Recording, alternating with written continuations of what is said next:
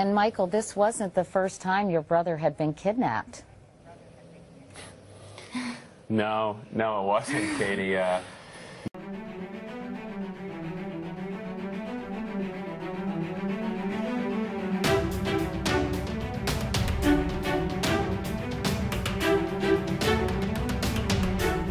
to make uh, to come to the microphone, so we'll listen in.